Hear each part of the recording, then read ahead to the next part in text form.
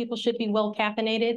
Um, I'm Bridget Trogden. I'm the Dean of Undergraduate Education and Academic Student Services here at AU as of three months ago. Um, and this, this invitation has been in the works for a while. We're happy to be able to welcome Cate Denial here with us. And so welcome to those of you who are here and those of you who are Zooming. Um, and the meeting is being recorded. Yes, it is. Okay, got it. Um, literally got it. Okay, so, you know, we want to make sure that we send some shout outs to those who are co-sponsors. So this is part of the AU Core. So the AU Core curriculum, our common curriculum for all of our undergraduate students, regardless of major, um, and CTRL. So thank you to everybody who's helped put this on. Um, we want to do extra shout outs. I apologize if I'm mispronouncing names. Been here three months. I will figure it out in the future, so let me know. Um, but a lot of people from AU Core and from CTRL who've done a lot of work for this. Um, so Sarah Frugian from AU Core, Diamond Brown, Lindsay Studer, Anna Olson from CTRL, and everybody who's really made this possible. So it's a, a great time to be able to come together and talk about our teaching and learning. So Cate Denial is here, very excited. She is the Bright Distinguished Professor of American History and the director of the Bright Institute at Knox College, which is in Galesburg, Illinois. That's the northern flat part. Yes, yes very much so. Um, and her historical research has examined early 19th century experiences of pregnancy, childbirth, and child rearing in upper Midwestern Ojibwe and missionary cultures. So very interesting interdisciplinary um, indigeneity work. And research from her previous book, Making Marriage, Husbands, Wives, and the American State in Dakota and Ojibwe Country, which was in 2013. So Cate is in the process of having a book that will come out in 2024, all about the pedagogy of kindness. Um, this is something that she's been writing about and speaking about. I know I follow her on Twitter, um, if Twitter is going to remain a thing, and been able to hear her speak before. And um, this is one of those things that's very important at, at AU and really everywhere. We know that we are a residential campus. We want to be able to build relationships with our students and being able to have um, those important interpersonal relationships based on mutual trust is incredibly important. So we look forward to welcoming Cate. Uh, so if you want to come on up um, and uh, she, we're going to hear from Cate and then we'll have some questions at the end. So thank you.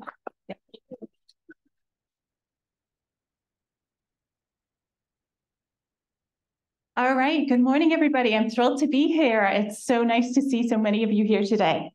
So you can access uh, these slides at this case-sensitive URL. So I'll give everybody just a moment if people want to pull that up on their phone.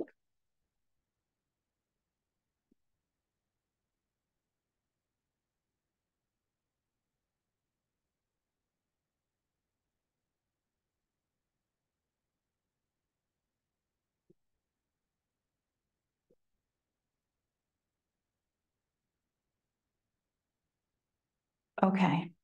And for those people who have vision or reading difficulties, there will be times when I'm reading all of the text that's on a slide, and I just want to flag why we're doing that. I always start my presentations by thanking the people who have taught me something. So I want to thank everybody who is at the Digital Pedagogy Lab in 2017, Charles Behling and Roger Fisher, who are from the program on intergroup relations at the University of Michigan, Karen Costa, Clea Mahoney, Judith Dutill, Melissa Wehler, and Jessamyn Neuhaus, who have all influenced me, especially in thinking about online teaching. Gabrielle Raley-Karlin, Jennifer Foubert, Deirdre Doherty, Hilary Lehman, and Mary Arman are my colleagues at Knox College.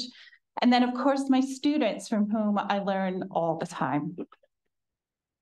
We are going to do little bits of free writing during this presentation. So you can grab a pencil and a piece of paper. There are actually swag notebooks at the back of the uh, that Brad is going to get, um, or pull up an app on your phone if you want to just take some notes in your phone too. But um, grab whatever is useful.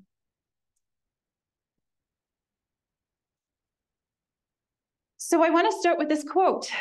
For us to be transformed as individuals, we have to allow for the incompleteness of any of our truths.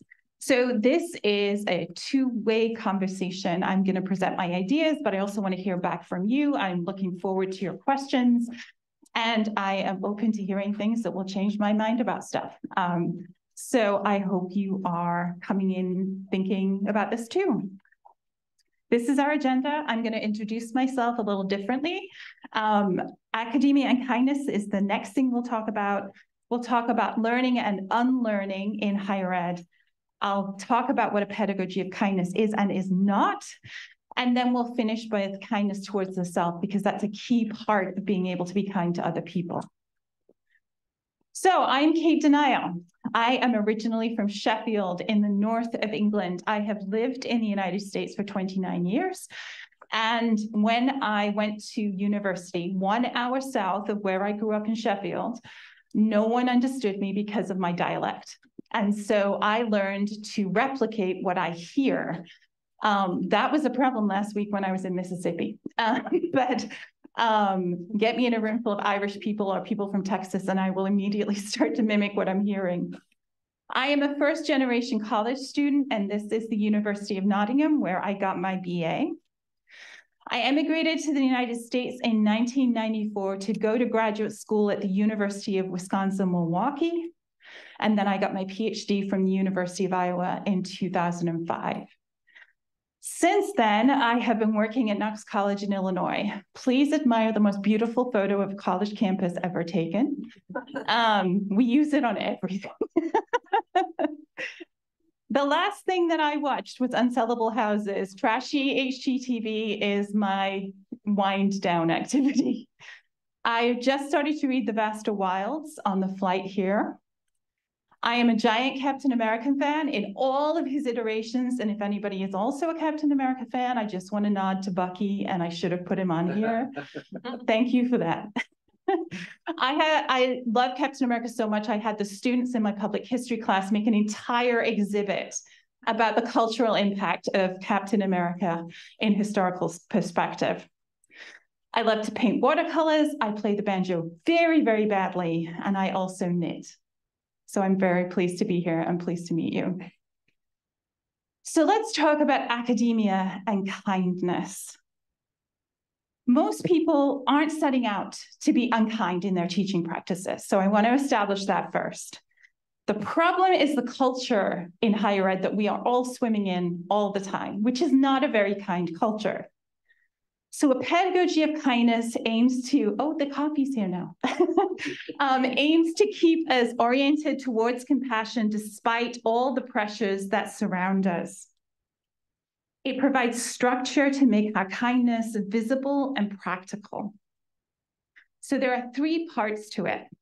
Justice, believing students, and believing in students. So I want to start by defining terms. Martina Spada said in Policing the Planet, no change for the good ever happens without it being imagined first, even if that change seems hopeless or impossible in the present. Author Jason Reynolds said, but how does one keep an imagination fresh in a world that works double time to suck it away? And I think that the answer is one must live a curious life. So what does kindness mean to you? This is our first little free write. So take a couple of minutes and just jot down some ideas. No one else is going to see this. This is just for you, and I will keep time.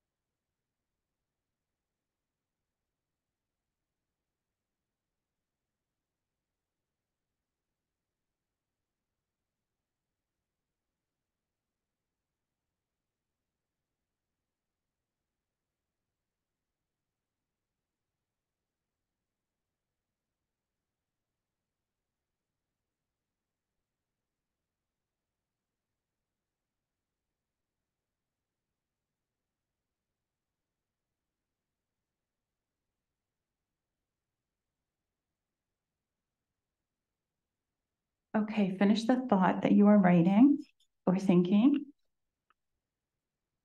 And thank you for taking that moment to pause and think about orienting yourself towards what your personal value of kindness is.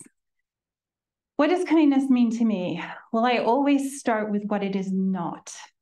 Kindness is not being nice. I must pause and say that the reason there's a dog on the slide is because there are a few free photos that come up when you search for kindness on pexels.com. And one was this dog. And I thought, who am I to argue? So NICE puts band-aids over deep wounds in our institution and our profession. It lies about precarity, for example, and how much, how many people working in higher ed are in precarious positions. It lies about the power imbalances that are through, power, uh, through higher ed. It lies about things like tradition and rigor and what those words mean and what they can also be used as ciphers for. It lies about our burnout and our exhaustion, especially as we continue to go through this pandemic. It lies about ableism and who is thought of as deserving of an education. In opposition, kindness is honest. It's honest about our positionality, and these are some little excerpts from my book. Academia continues to be hostile to so many of us on the basis of race, gender, sexuality, religion, nationality, citizenship, disability, and class. Where do we have power and where do we suffer from its lack? It's honest about accountability. To dismiss the places where we trip in word, thought, or action without reflecting on the import of each is nothing more than being nice, relieving ourselves of responsibility and prioritizing feeling good over being just. And it's honest about being a discipline. So I want to make clear I have not reached any mountaintop. I am not any kind of Buddha figure. We are not always going to feel like being compassionate. We do not need to direct our energy into niceness. Instead, we need to remind ourselves that we believe in compassion and act upon that belief even on the days when we're spitting mad, hollowed out, and heart sore. So I'm going to move into thinking about what we have learned in the culture of higher ed and what we need to unlearn within that same culture. So is academia kind? This is the participatory part. No. Oh, no. that is the correct answer. Generally, no, it is not. And we are socialized into distrust in academia along multiple different axes. The idea of the solitary genius, right? The superstar academic, the person alone in their office in an ivory tower, the way that superstar academics are sort of held up as the ideal of what it is to participate in higher education is really damaging. It doesn't allow us to think about collaboration. It doesn't allow us to think about the ways we might cooperate with one another. And it doesn't reward those things either. There is competition, competition for grants, competition for office space, competition for the best classroom. Competition is everywhere in higher education.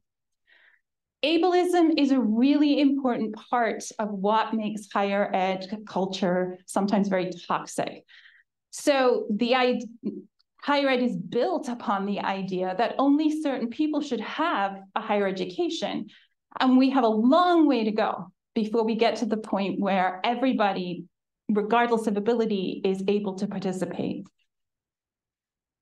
It's often been about exclusion too. The history of higher ed is one in which there has been a slow expansion of who can get that education over time, right? Along axes of ethnicity and race and gender, many more axes too. And there within that culture is a culture of antagonism towards students. And this is the most I've lost the word, but uh, it's sinister, right?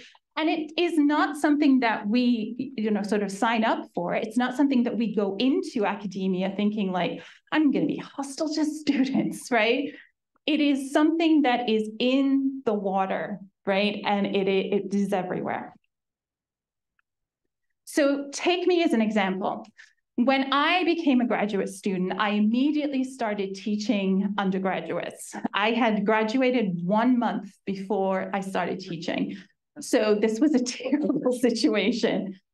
But the, the training that I got taught me certain things. Students are our antagonists. Students plagiarize. Students cheat. Students won't do the reading. Students challenge their grades. And this was compounded when after graduate school, I became a professor.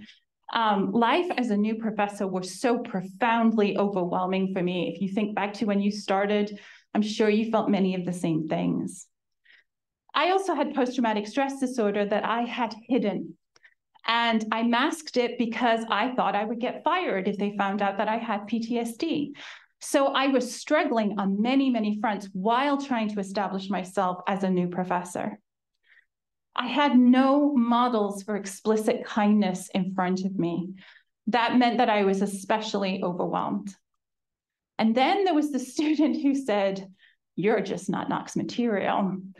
Um, he was having a really hard time in my class, was not enjoying himself.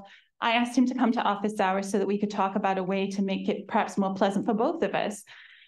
And when I asked him what would help, that's when he looked at me and very witheringly said, You're just not Knox material.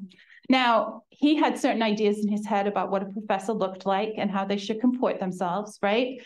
Um, but there was some kernel of truth in what he was saying that I only got to many years later, which was that at that moment, I was a, not a good professor. So, how did I learn to do things differently? There are four things. The first is a project called Bringing History Home, which was in Iowa from 2001 to 2011. I was the lead historian on that program, and we taught over 900 teachers, mostly elementary school teachers, how to do history, hands-on history, get into the primary sources and make the narratives themselves. They then taught that to their students as young as kindergarten. And that's an amazing thing when you see K through five students building history for themselves. The master teachers who were part of this program were some of my earliest examples of profound kindness and patience. I, in 2013, went with a group of other people from my college to the Intergroup Dialogue Institute at the University of Michigan we were sent to figure out if we should have a program like it at Knox. We recommended that we should, and then we're told to make it. Dang it. so uh, intergroup dialogue is a very structured way of having conversations about contentious social issues, things like race, class, gender, religion, sexuality, gender.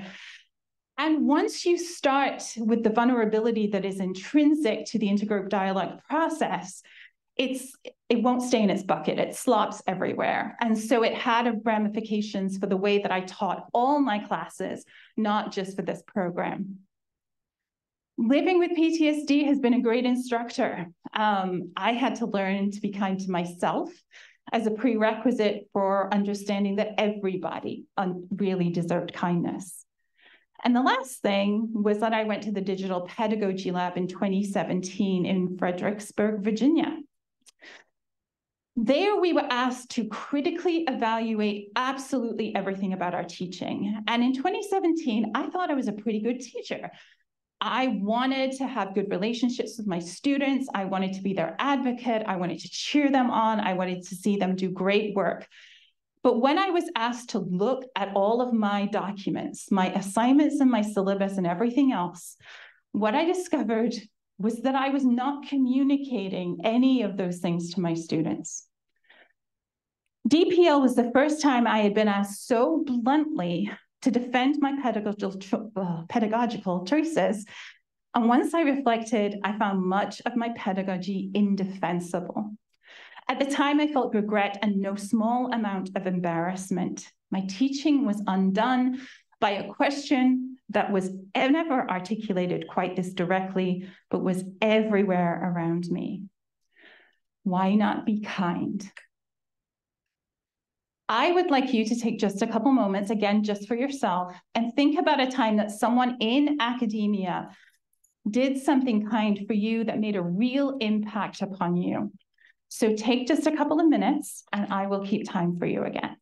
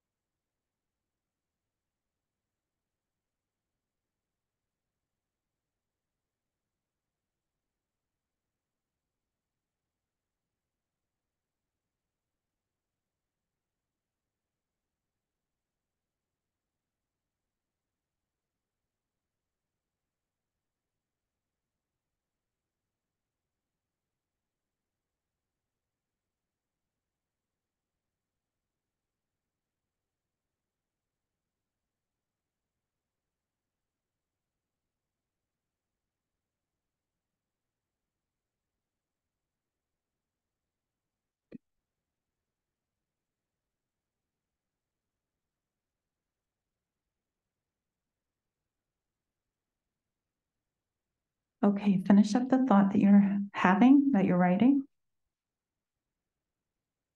The great thing about this question is that everybody has one of those moments, sometimes multiple ones of those moments that demonstrate just how powerful kindness has been in our experiences.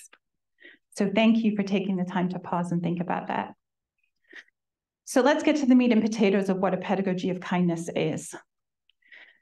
It helps to keep us oriented towards compassion despite the pressures around us.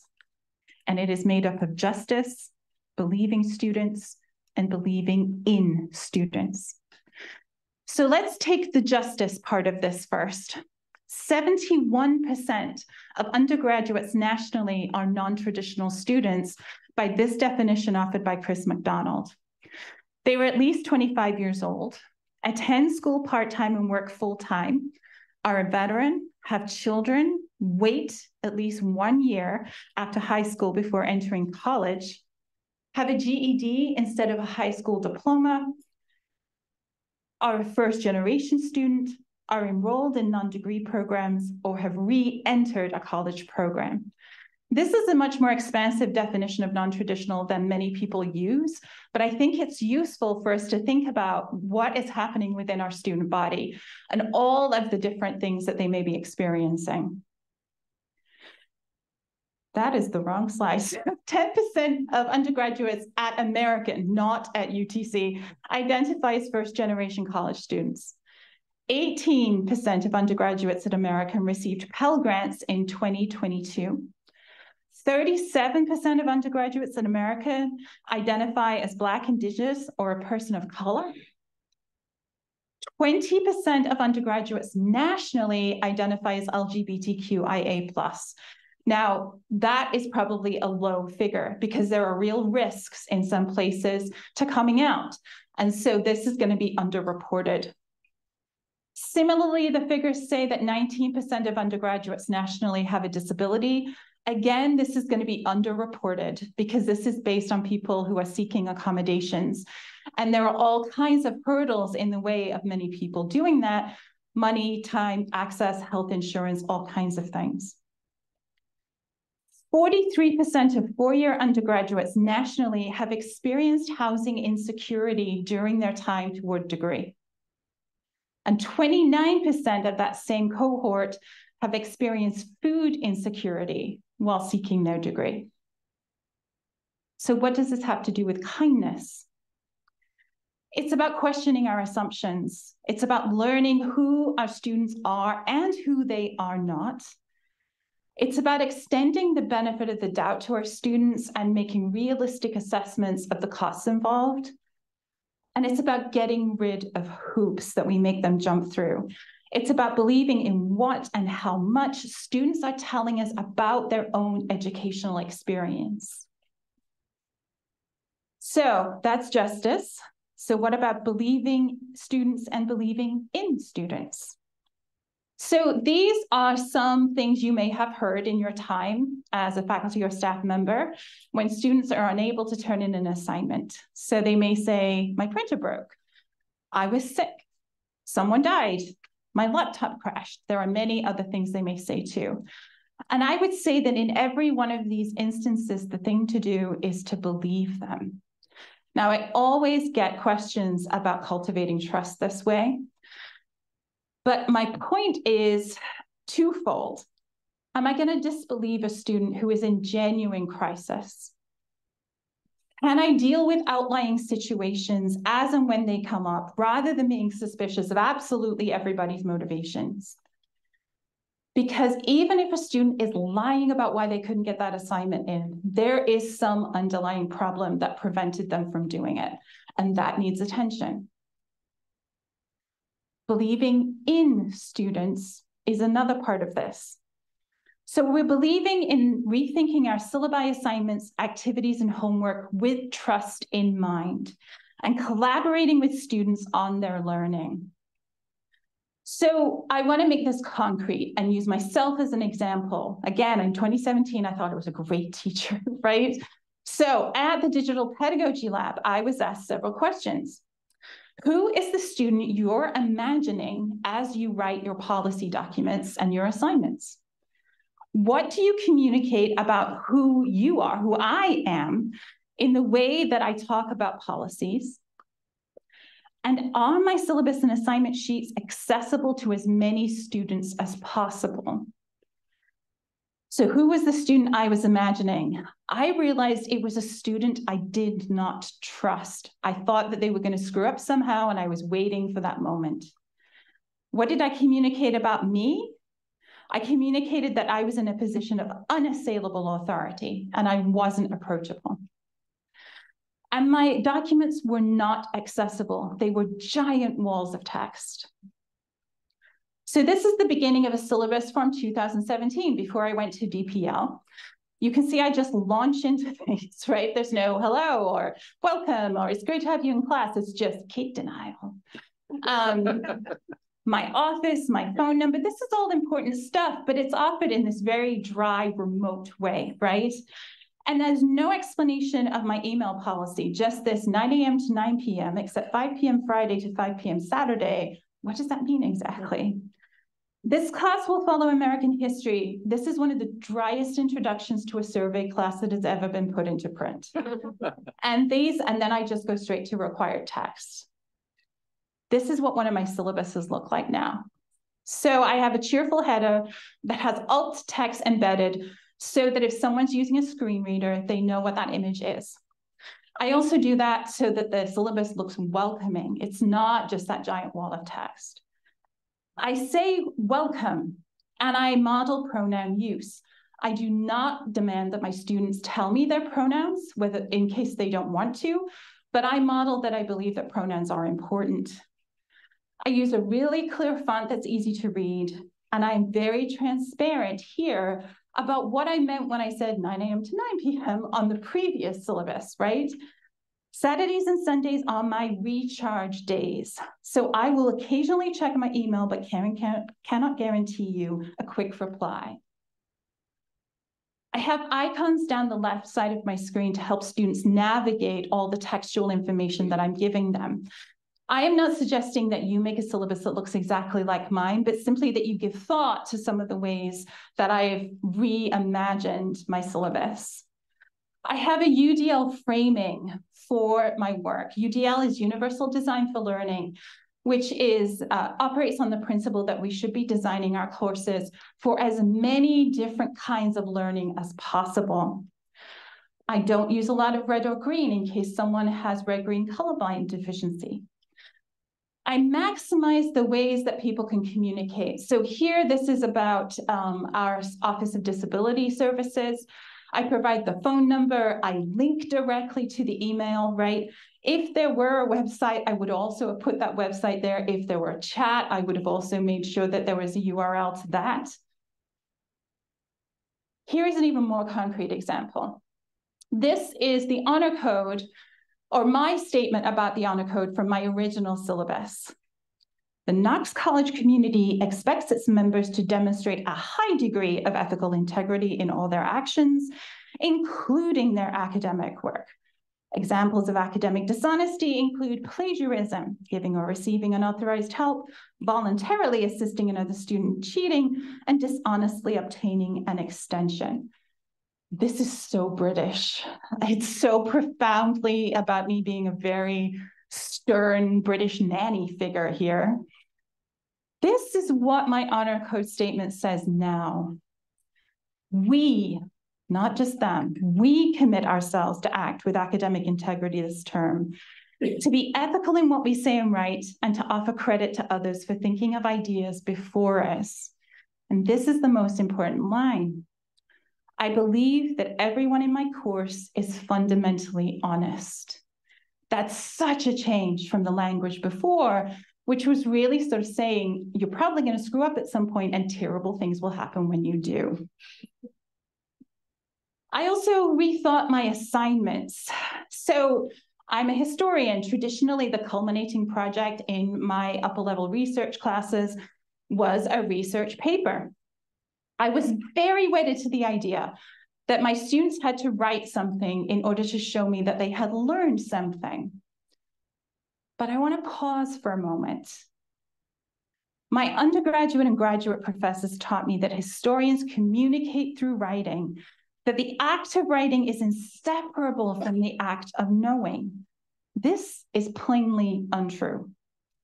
It has taken academia years and it's an ongoing process to reveal people's assumptions about who gets to participate in academic spaces based on the expectation that knowledge should be written down. If we insist that students must demonstrate their understanding of concepts, principles, and ideas through writing alone, we risk marginalizing and alienating students whose disabilities make it difficult to express themselves through that medium and organize words on a page. It is vital that we distinguish between the substance we hope our students know and the means by which they tell us they know it. So I am not advocating here for like pitch writing, writing's no good, right? I'm suggesting that if we truly want to know what our students know, we need to give them more opportunities to show that to us than simply writing stuff down. So this is my original research paper. I have a very formal yet vague opening. it's so vague. Um, formulate your own question about this course. Uh, identify the resources that will help you answer your question, research the topic, and write up your findings in an eight to 10 page paper. There are some, uh, there I sort of stipulate how many sources of what type they have to use. This is very much based on my distrust that they would do it correctly if I did not tell them. This is some scaffolding that I included on the assignment sheet. Scaffolding is great. Scaffolding is necessary. But what I didn't really realize as I gave them all these points was that this was me trying to make up for not having taught them how to do these things in our class time. So I thought, well, these are things they should know, and I'm irritated now that they maybe don't know them. So I'm just going to put them in a list and make sure that everybody knows what to do. And then I had a checklist because this was the world's longest assignment sheet. Um, here it's key that I tell them how to cite, that they must cite in Chicago style, but I don't tell them where to find it. I don't link to anything. I just assume that they're going to know. And again, 12 point font, one inch margins, keep a copy of your paper. These are all about my distrust of my students. This is what my assignment sheets tend to look like now. So again, that same cheerful header, the same icons down the left-hand side to help them navigate the text. But this is now a co-created assignment. Your second assignment is to show me what you've learned this term in any medium but a paper. That means you could create art, photography, music, dance, poetry, rap, a map, a zine. The sky is the limit.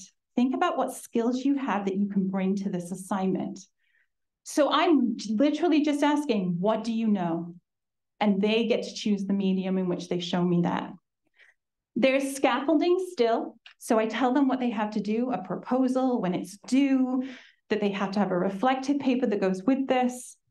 Um, I link to the Chicago Manual of Style, and I repeat the dates at the end because that's always the thing that people look for in a panic.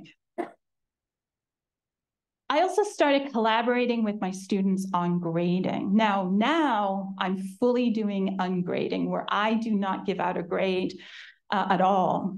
But I started one little step at a time. So I wanted to encourage metacognitive reflection from my students. I wanted them to think about what they were learning. And I also wanted to focus on their strengths in my feedback. So I started by having them fill out a self-evaluation sheet. And they brought this in when they brought in their paper. So you can see that these are some very simple questions at the beginning. Did you turn your paper in on time? Did you ask to turn it in late? But the second page was where the really good stuff got going. In what way was this paper an act of exploring new intellectual territory for you? What discoveries did you make about yourself? How could you improve before your next assignment? And is there anything else I should know in relation to you in this paper? Which is where I found out things like my boyfriend broke up with me last night. Um, my beloved pet died at home, all kinds of different things. There's also different kinds of assignments that can do a lot of the work of getting our students to think creatively for us. So authentic assessment is part of this. Authentic assessments have meaning outside of our classrooms and usually are for an audience that's not just us. So Knox has a thing called Biofuels Week. Um, the general chemistry students create a biofuel. The organic chemistry students identify its components. And the physical chemistry students perform combustion tests to determine its efficiency. Now, they then present this to a panel of alums and other chemistry professors uh, to sort of say what they've done. This is what some students had to say about this experience. This lab teaches me how to work as a team member and how to communicate effectively, which is important for my career as a research scientist.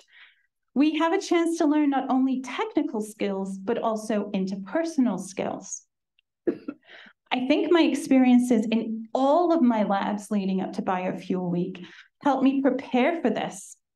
Because we were working with general organic and physical chemistry, there were concepts that I learned as a first year that came back up that week. So metacognitive reflection again. Before Knox.com is an authentic assessment I did with my students during the height of the pandemic. Normally, I would have them build an exhibit, but instead, we built a website that was about the history of the place that Knox is located before Knox was there. So they built a series of blog entries. They made a timeline that had primary sources attached to everything on it. They did their own research into a particular issue, and we had the world's most beautiful bibliography. But this was an authentic assessment in that it was important to people beyond me, beyond that class. So this was a message that we got from Anna Naruto Moya um, about how she had used this in a very real world setting.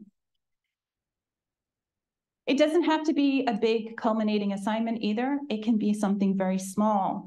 So I have reading check-ins every time my students do some reading. And you can see I ask them how much of the reading they did, which is not about being punitive. It's so I'm prepared if everybody only did 50% of the reading that day, right? What new things did you learn? What is important that we talk about? And what left you confused? I take all of these and then I use it to make my lesson plan for the day. So my students get a feedback loop from me without me having to respond to every single one of these things. I also ask my students at the end of each week to look back on the week and tell me the three most important things that they learned.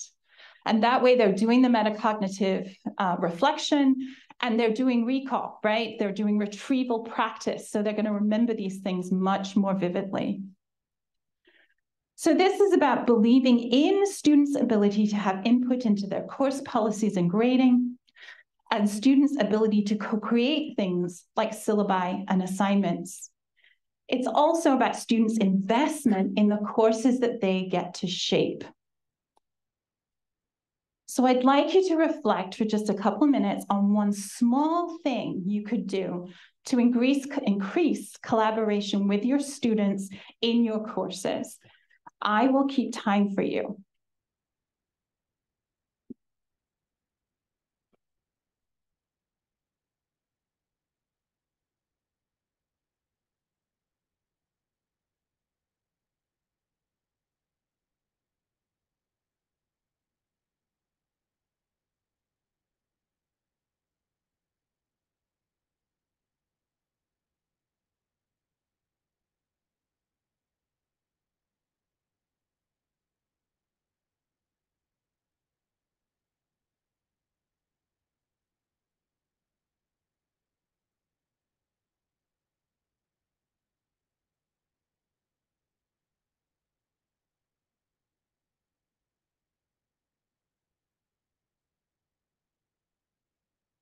Mm-hmm.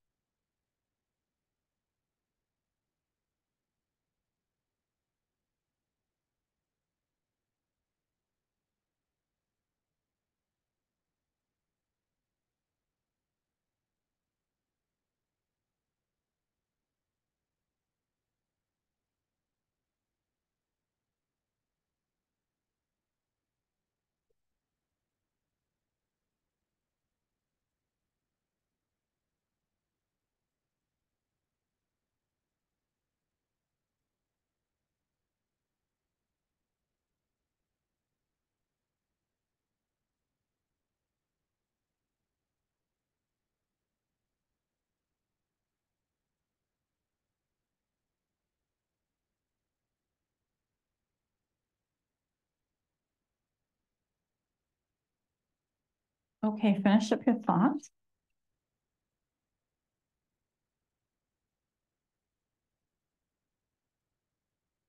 The last thing I want to talk about is kindness towards the self. So kindness towards the self includes some really basic things. Not trying to change everything at once. There are times when I want to burn it down, but that is actually a phenomenally large undertaking, right? To then rebuild from the ground up. Recognize that you are the authority in your classroom and about your classroom experience. We are embodied people who have very different experiences of walking into a classroom and being respected or not respected as professors or faculty and staff, right? So recognize that you are the authority and that you may need to tweak things to be true to your experience. Know the boundaries you need that are going to work for you and give yourself time and space. So I tell people plus one, just do one thing differently. And then next semester, do another plus one. It took me five years to go from grading very traditionally to where I am now. And those five years were super important. Kindness towards the self involves some other things. Here are some suggestions. Set some email hours and make sure they are very clearly communicated to all of your students. So don't be available 24 7, right? Clearly demark when you are going to reply to things and when you're not. It also sets up expectations for your students so they know if they email you at 2 a.m., you're not going to be able to help them. Take a day away from email every week. Be even more radical and take your email off your phone. Um, email is always going to be there. It's never going to go away, right? And having a boundary where you're like, I need some time away from this to recharge is so, so important and makes such a difference to who we are. Time for lunch or time for dinner, depending on your schedule, maybe even time for both. Um, this, I got diagnosed as a type 2 diabetic two years ago. And that was when I realized I couldn't eat mini Snickers bars for lunch anymore. And it should not have taken a major medical diagnosis for me to realize that was a terrible way to take care of myself. So I started having to make sure that I was eating properly at lunchtime and having a lunchtime instead of doing meetings. And this should not have been the case. I should have been able to just do that anyway for a very, very long time. So, whatever the break is that you need, whenever you need it in your day, demark that time as yours. Commuting is work. I just came from Bethesda this morning and that was work and I was sitting in the back of a Lyft. So um so more than anywhere else I've been, you commute, you have a lot of work. So count it towards the amount of energy you have in a day. You have a finite amount of personal resources, and some of them are spent before you even get to campus. So don't think to yourself, I'm going to do eight hours in the office when you have an hour's commute at the beginning and the end of your day, right? That means you're working 10 hours. So think of it that way. Build in flex days in your syllabus right from the beginning of term. So flex days are multi-purpose, right? They float. And it might be that uh, your students got really confused about a concept or an equation. It might be that discussion went amazingly well and it's spilling over. It might be that people need a mental health day. It might be that you have to react to something that has happened nationally or internationally, right? Build a couple of days in that float so that those things don't disrupt your calendar and you're not left scrambling to catch up again, okay? And create community. Now, your community could be in many different places on campus. It might be your department, it might be your division, it might not. Um, my department, we get along really well, but we don't hang out together. All of my friends are in other places on campus. Make sure that you are cultivating some community for yourself, whether it is on campus or off, because community is what sustains us when things are particularly difficult. So what is one place that you could show yourself kindness this semester yet? Okay, so take a minute to write down a couple ideas for kindness you could show yourself.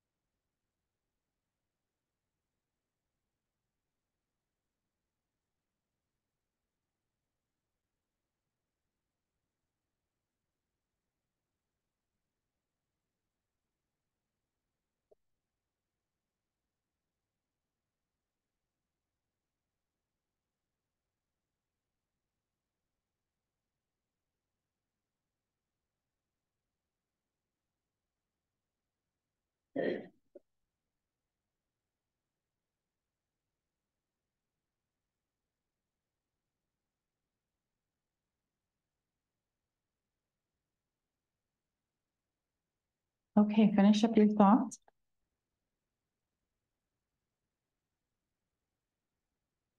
So let's try and bring this all full circle.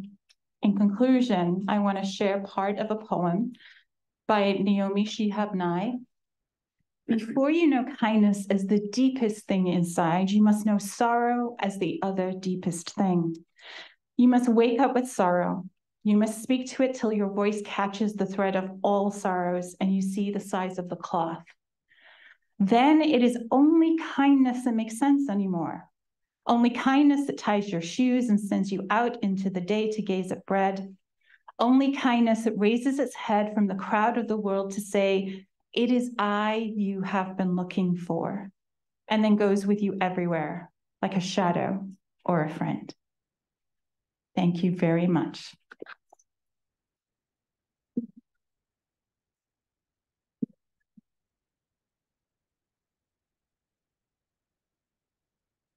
We have time for Q&A. These big white things on the ceiling are microphones our microphones.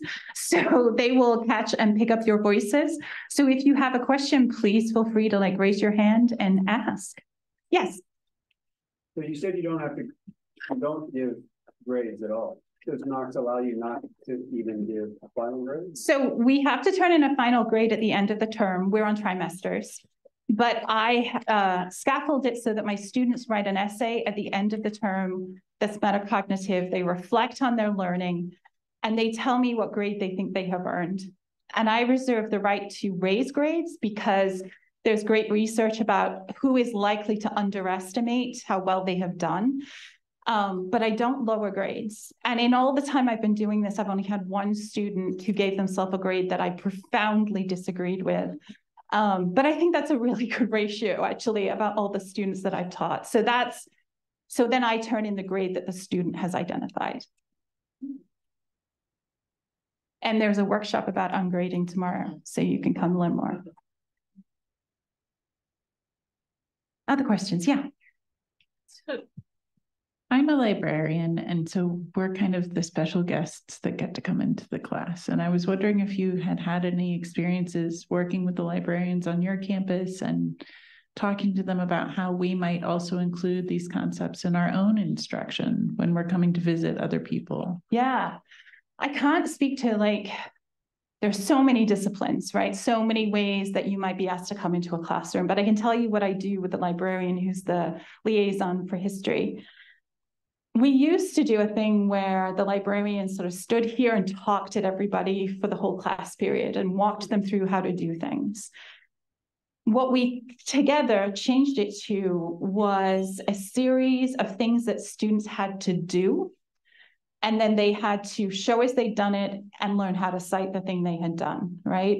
So the first thing was they had to learn how to find a book because they didn't know how to use the stacks because um, they're so used to using digital materials. So they had to go find a book. Then they had to look on either side of the book that they found, right? So that they could see if there were other things around. Pick that book, bring it downstairs, show us the physical book, and then learn how to cite that book. And then we went through articles and we went through websites. And so they had to do multiple different things. And the librarian and I floated to check their citation and to help them out, to walk them to the bookcases if that was what they needed. And it's so much more interactive. The students are doing so much better at library research because of it. Um, but that was something we came up with together to try and make it more participatory.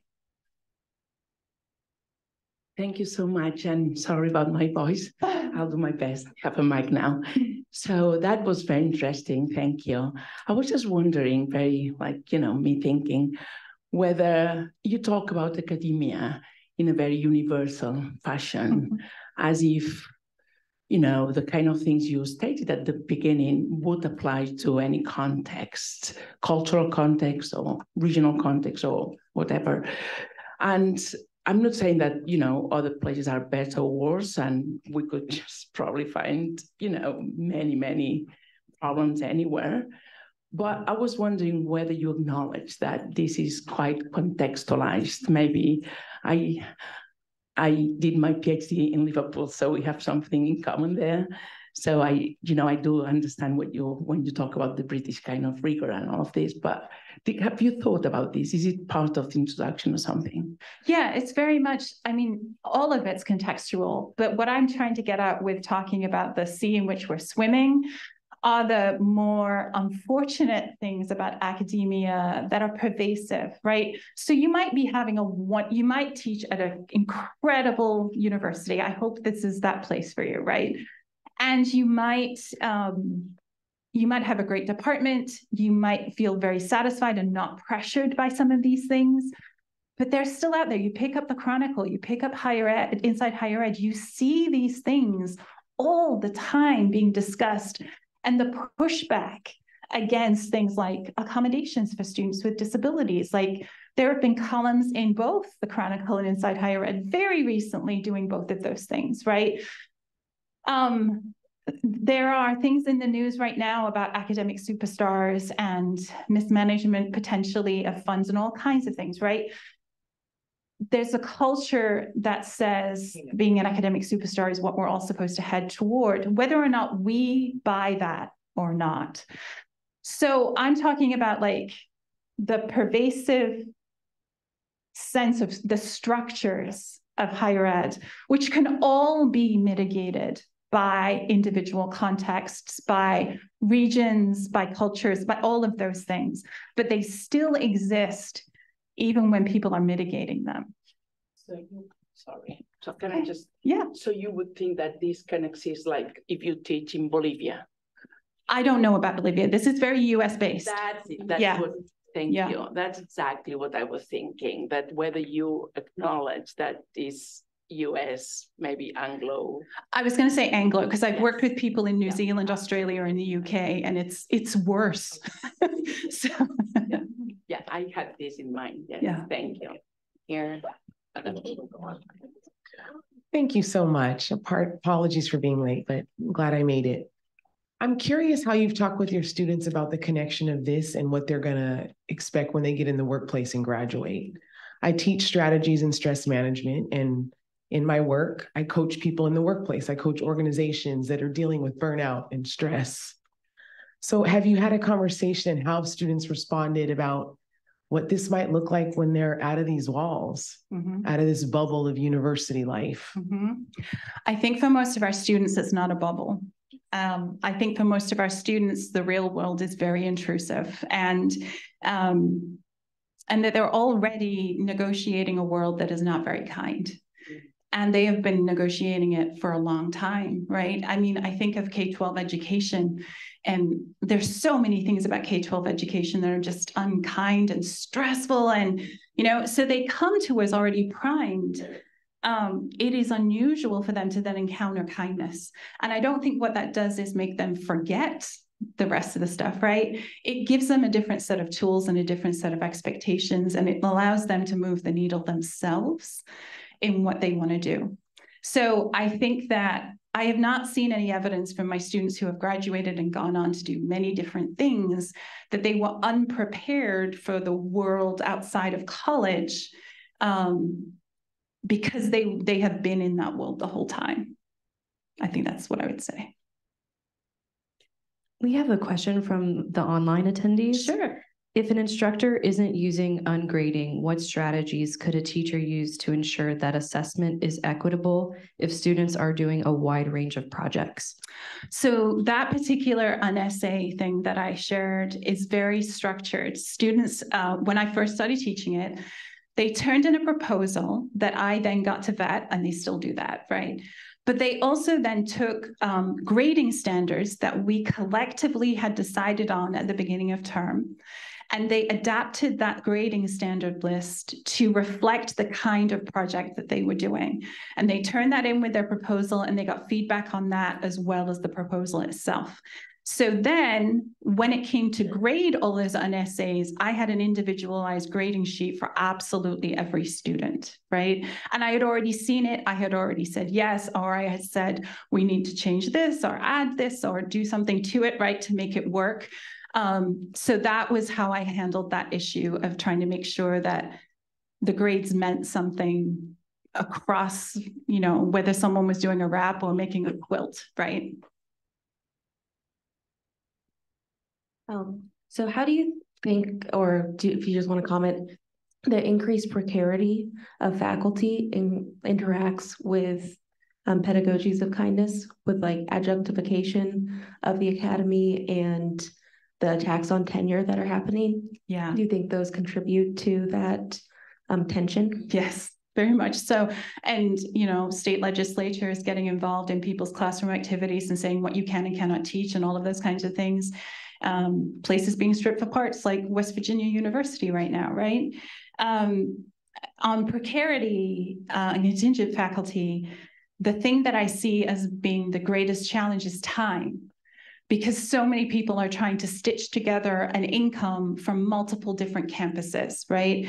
And if you are a road warrior who is driving all over the place to be able to put together an income, you don't have the kind of time to be able to invest fully and deeply in what you maybe want to do, right? It that really limits you. Um, so in the book in particular, I try to tease out like, if you're contingent, here are some ways you can adapt this. Here are some ways you can take it this far and not take it as far as I'm ultimately saying we might want to go, right? And this is when it comes back to you are the expert on your classroom experience and what it is possible to do within that particular context.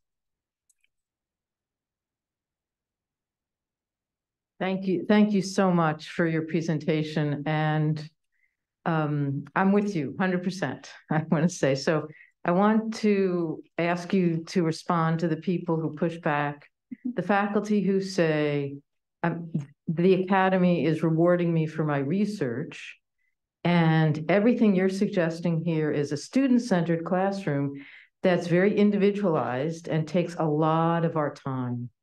And so our faculty have incentives for uh, limiting time in their teaching. Mhm. So what would you say to a faculty member um, who- who is, yeah, who's who's, uh, uh, you know, dealing with that tension?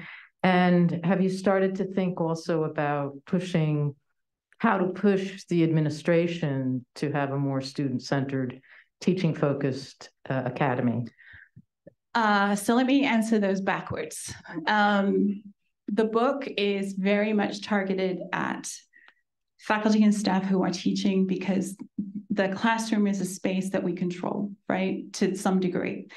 And um, because we have that kind of autonomy, that's where I wanted to start is to say, no matter what your situation is, there are tiny things that you can start doing that are going to make a real impact on your students. I am the PI on a Mellon funded grant called Care in the Academy that is trying to expand this into the ways that the structures of higher ed are working. So we have 10 campuses, including R1s, regional publics, li- liberal arts colleges, and community colleges. And then we have 10 mostly contingent people who are thinking about what if you don't have much of a connection to the campuses where you teach, right? And these 36 individuals have done a ton of research into what it would look like to be trauma aware, what it would look like to really think about what disability means in academia, and what it means to make pedagogy sustainable for us, right? Not just sustainable for students. Um, so that's like another project that I have going on that we're trying to do. The first question, remind me again, just real quick. The faculty who. The faculty who are researching, yeah. Um, this is where the plus one thing works, right? That you don't have to change absolutely everything and make it into an enormous job of work. You can change one small thing and see what the consequences are, right? See if it's making a measurable impact in your class. The little things that I talked about, like the reading responses, right? That I do not grade. Um, if I had teaching assistants, they would not have to grade either but that informs some of the questions that I walk into the classroom with, right? There are other ways of showing a feedback loop than just responding to lots and lots of work, right? Um, so that's part of the way that I'm suggesting people can shift, right? Make the one little change and then make another one and another one. And ultimately, everything can be different, but you didn't have to burn it down. Resist. Uh, thank you. This was definitely the most important hour and a half I'll be spending this week. Um, uh, several, many of us here are thinking about putting together a teaching portfolio uh, for our work. And um, some of the things that we're asked to do for that are um, giving uh, some, some demonstrating ways that we do self-evaluations, ways that we invite peers to do evaluations of our work, and uh, ways that we uh, can harvest feedback from students as well. And I was wondering, uh, you were just talking about kind of like, you know, the plus one, making a change, evaluating how it's working. Do you have any suggestions for creative ways to that we could demonstrate those types of evaluations in our portfolios? The way that I do evaluations is that, um, so I have that metacognitive essay at the end of the term, right? Where my students get to say what was most meaningful and what did they learn that they're not going to forget? What did, what seems most important to them? So they're open-ended questions. And from that, I get lots and lots of information about what is and isn't working. Um, and so sometimes it'll be things I did not anticipate at all. Or they'll be like, everything about X was a tragedy. And I'm like, okay, well, we won't do that next time. All right. Um, but those essays are so fruitful not only for me in having a different kind of feedback especially from like whatever the evaluations are where you're coloring little buttons in right but they are really dependent upon the personality of a class, right? They get to the heart of that. And you're doing your students a service by saying, would you please reflect on your learning processes so that that becomes more concrete for them. Um, so that's the way that I have done that. Um, the other thing I would say about teaching portfolios is if you are being asked to write a teaching philosophy, write your first draft addressed to your students, not to other faculty, not to staff, not to administrators write to your students and explain why you teach the way that you do. And then you can go back and you change the language and you can say, like, you know, like, well, and this is the thing, right? So that it's not that directed at that, right? But that changes everything about writing those philosophies because suddenly you have a concrete set of people who may not know what your pedagogical choices are. And it makes it so much easier to articulate that stuff.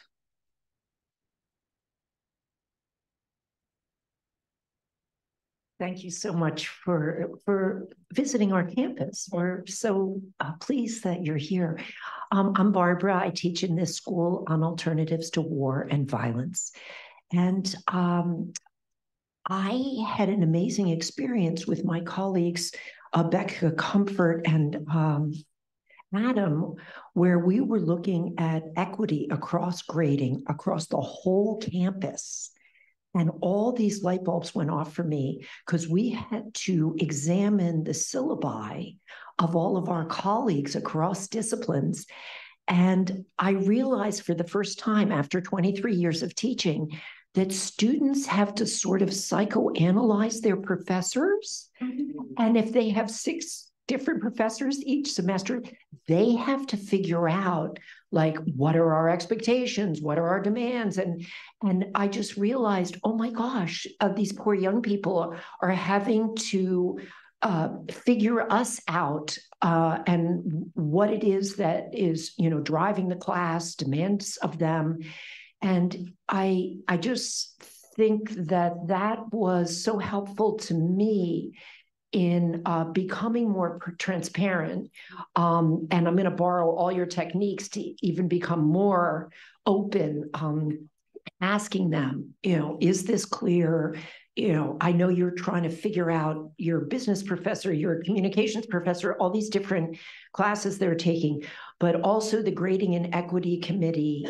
Um, we discovered that we did have a lot of biases in how we graded and um, and that uh, it may, heightened my awareness um, so much um, of the lens through which we look at students. Um, but please comment on that if you would. Um, I could go on a whole riff about grading, but there's an ungrading thing tomorrow, right? Tomorrow, yes, tomorrow morning. I I'm forgetting in what order we're doing things. Um, where I can get into the research about what grades do and do not represent. But if you are someone who is grading, then I think one of the most valuable things you can do is have a rubric or a, a, descriptive list of this is what an A is, this is what a B is, this is what a C is, right? I actually started mine when I did this with a C and was like, this is uh, what everybody can achieve, right? And then you exceed that to get a B and exceed it to get an A so that my students didn't have that high school thing of, everybody gets 100 and it's all demerits from there, right? It's just ways you screwed up all the way down, right? Instead, I was like, no, this is how you succeeded. This is how you got a higher grade, right? But we would have that list. We would annotate it. Everybody would annotate it, and then we would talk about it. And we would edit it um, if they had objections to certain categories or certain things, then we would talk about, okay, what do other people think?